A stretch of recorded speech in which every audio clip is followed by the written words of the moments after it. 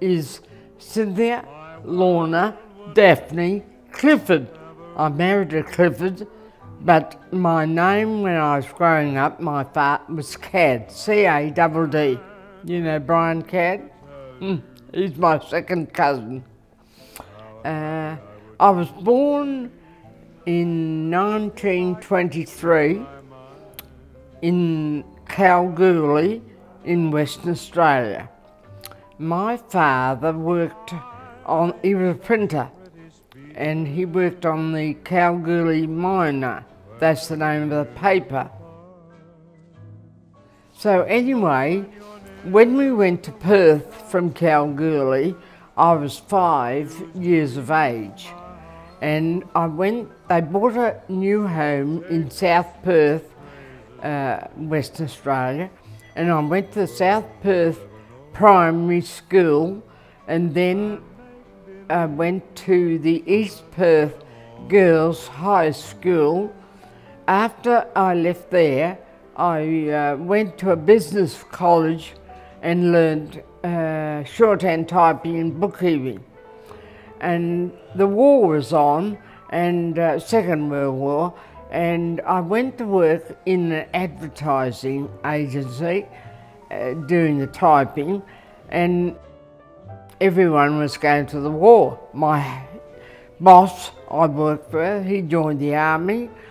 Anyway, after a while, they said, if you're not in a, uh, what do you call the, um, uh, a job that's not to do with the war, if you're not in a uh, occupation that was due towards the war. So I thought, oh, seeing I'm in an advertising firm, they might send me to a munitions factory. So my girlfriend, who worked in a photographer's studio, I joined the army then. I said, we'll join the army. And um, I was in the rookie school for six weeks, and after the rookie school, they tried to put me, because I did shorthand, typing and bookkeeping, in an office. I said, I didn't join the army to be in an office. I, I'm in the army, to, no. So I was sent to uh, Buckland Hill it was a new place called, um, uh, what I say, Heavy Anti-Aircraft Unit, 3.7 guns, and we learned all the predictor and the height finder, and we put all the data in the guns for them to shoot. So I'll never forget the first night I was in the pit and the gun officer said, fire.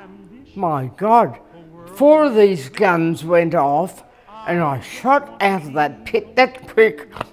Oh, but they got me back quicker than I went. After that, I was okay.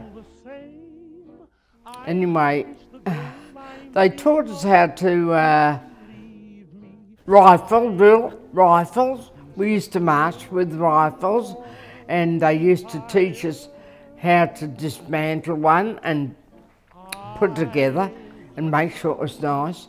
Anyway, um, the Japs came down as far as Exmouth Gulf in Western Australia on the borderline. It was over. And so they dismantled all the gun sites and they put us on a troop train and they took us over the Nullarbor Plain to Melbourne. When I was in Melbourne, uh, I went to a clerical school and did uh, office work again. So when the soldiers all came home after the war, I topped out all their uh, discharge certificates. So anyway, they then decided I could go back to Western Australia, where I come from, and put me in the Karrakatta Army camp and I typed out all the discharge certificates So anyway, this ship came in. I said to my girlfriend, I'm getting out the army. Um, this ship is going to Adelaide, Melbourne, Sydney, Brisbane. And so I ended up in Melbourne and uh, I stayed there for a while and then I went on to the next place and because I was a public servant I got a job as quick as lively because they need people after the war. So uh, after Sydney, I came to Brisbane and I was in a typing pool and where I met my husband. Kenneth Powell Clifford. I used to, my husband used to be in the Fair Rents Court and he used to go around the houses and he used to be out measuring up homes. He was a, a valuer. He used to value the houses and when he came back, used to have to have the um, work typed all out and that's how I met him. But uh, he was uh, one of, he had a sister and two brothers, and he was the only one that went to the war. He used to take us home to his mother and have a meal, and I eventually got married to him. He used to follow me and went down to Sydney, and, and he'd follow me. Anyway, my mother uh, came over from Western Australia and uh, we got married. My um, uh, husband uh, looked after a house for some friend of his that went overseas and that's where we went to live until they came back. That's when we got married. Anyway, uh, we bought a house in Taringa, and that's where all my children, I had three boys and three girls. And uh, we lived there all our life. And they are everywhere. There's some in Sydney and there's up in Toowoomba and one down the Gold Coast and they come and visit me when they can. My eldest son and his wife are on long service leave at the moment and they have been to oh, all over the world Germany, England, New York, everywhere. They're not home, they're due home on the 9th of June. They'll tell me all about it. I got a letter, a card from uh, Scotland, and I got a card from uh, um, Germany, where they'd been. They, so they'll have plenty to tell me when they get home.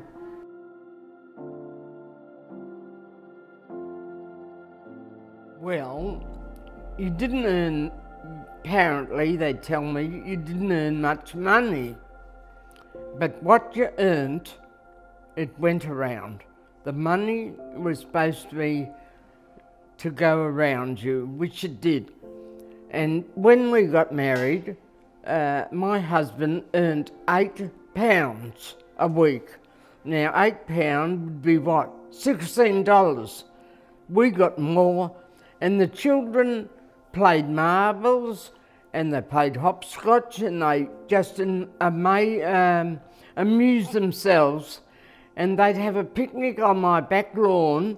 They'd bring a rug out and their lunch was eaten down there and they thought it was a picnic out in the bush. No, it's beautiful. We, I had a good life. My husband was a kind, caring, you never had to ask him to do a thing.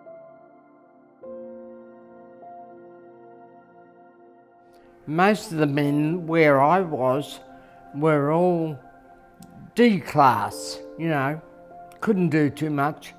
And uh, they taught us where I was in the army at the Buckland Hill, we had to make the toilets. They were deep, deep, deep latrines. And I remember one day, this we used to have to wear our pay book, in 83 it was called, that's your history book of your history. Anyway, in the morning we used to dress in blue jeans and the girl who went to the toilet dropped her pay book at 83 down the deep latrine and I had to take her up to a um, what charge. She was put in a charge because she didn't have her 83 and her pay book. And they said, where did you lose it? Where's, uh, where have you lost it? And she said, well, it fell out of my blue jeans into the deep latrine. Never. But um, all nice. The soldiers seemed to have come from Sydney and Melbourne and over there on the guns and we used to put all the data in the gun and then fire the gun and what it was, the aeroplanes were um, uh, American, you know, the American submarines used to come into Fremantle and the Catalinas were on the Swan River and the Catalinas used to come over at night and on the end of the aeroplane was a wire rope. I don't know how long it was, say 180. And on the end of the wire rope was a white thing, like, uh, and they called it a drogue. And we used to have to fire and hit that drogue to uh, um, training on this drogue. That's how we used to fire the aeroplanes. I fire the guns, I mean. Boy, remain man. I used to feel sorry for that man up there. I thought, God, if he only knew us women were down here. well, I think, uh, yeah, so anyway, we learned rifle drill. We did, you know, we used to have to have the soldier come and show us how to use the 303s. Yep bang, hit bang, you know, all that. Of course, we were called part of the artillery and um, well, I used to, what the girls, we used to be in a hut, a long hut, say about 24 of us. The girls came from the country, the city, everywhere, and uh, they used to play a trick. You know, all the time they were trying to find a trick. So we used to have to make the bed. We had inspection every morning at your shoes, shiny shoes, and the bed had to be perfectly made like a hospital bed.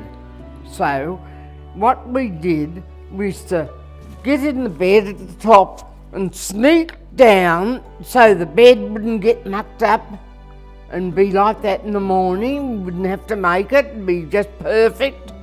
So any day, these we were out in the bush, and these girls used to put sticks sometimes. One was in my bed one night, and I thought it was a snake. I put my foot down like that, and I thought, my God, that's a snake. And I shot through out of that bed quicker. Hmm. Well, I don't know, but we used to um, have a morning tea and when we did, we learnt how to play um, two up, not two up, what did you call that, penny poker. So I learnt how to play penny poker.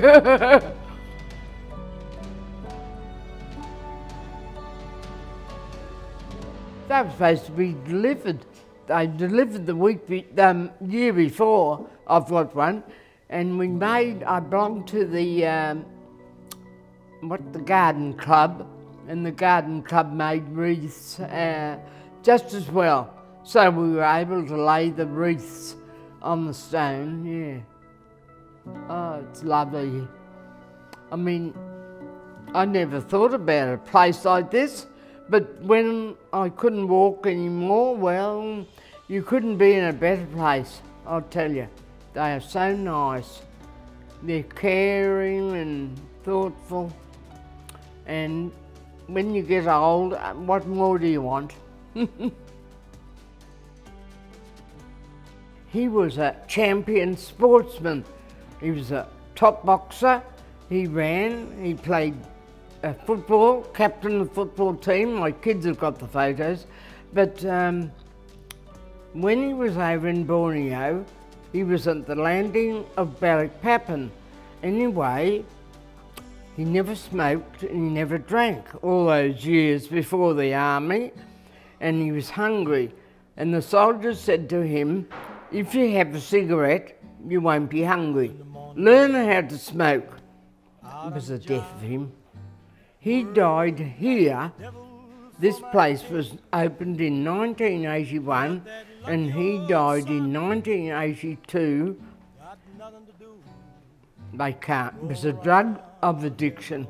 I, I felt sorry for him. It's very sad. And see, since then, I mean, I used to go and give blood. I used to, every three months, I used to go to the Red Cross and give blood. When you came out, here's a pack of cigarettes. When we went down to the doctor's surgery, they were all ex-Navy men, our doctors. There's a pack of cigarettes.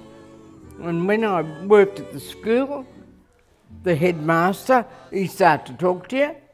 Cigarettes. It's a killer.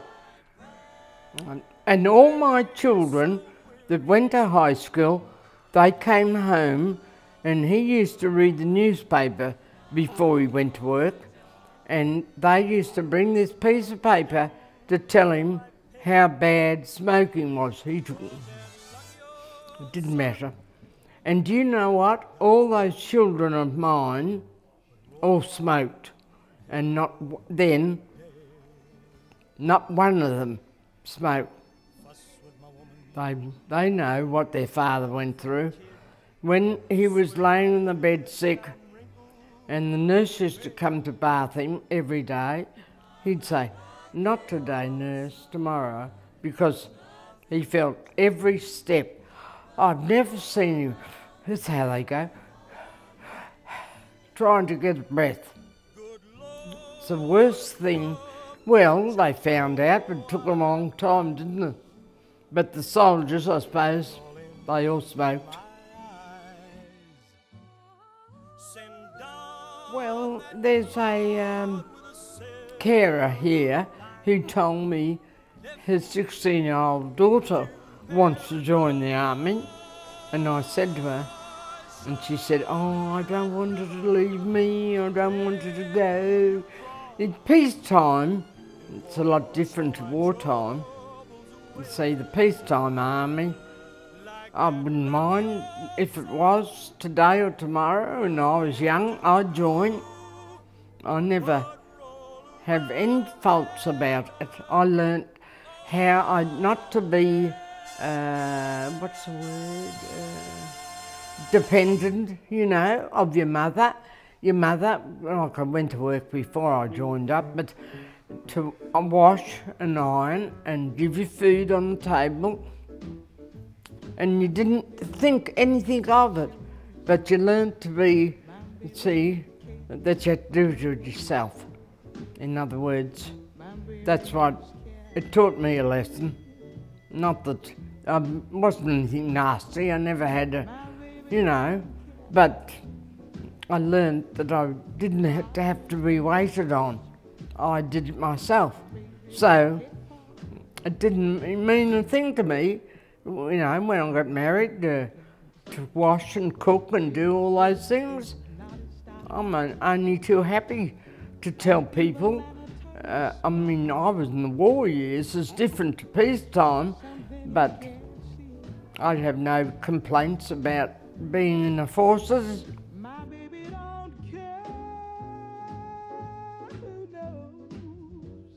Travel travel, when you go to other countries, like I went to Bali, I feel sorry for them because we went, I went from Fremantle up to Bali by ship and it was a Russian ship.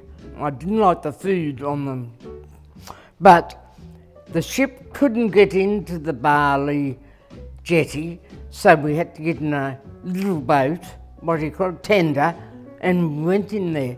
and on the jetty is all these poor people with boxes of watches and boxes of the. And I was with my sister, and I said, Will you get me out of here? I can't stand it. And so uh, we decided we'd go around the island of Bali, and so to get, we had to get a taxi. So I went around the corner, same thing happened. We can take you for a day here for eight dollars. Take you ten. You have no idea. So my uh, I, my uh, thoughts of Bali are not the best, but people go there all the time up from the Perth because it's a lot cheaper. They go straight up. But I went to Phuket, I went to Thailand, I went up the top of Western Australia, I went to Monkey Mia, and I saw the fairy penguins come in. No, travel is education. Ah, yes, I, I have no complaints. I've had a good life, and I'm real happy that I went in the army and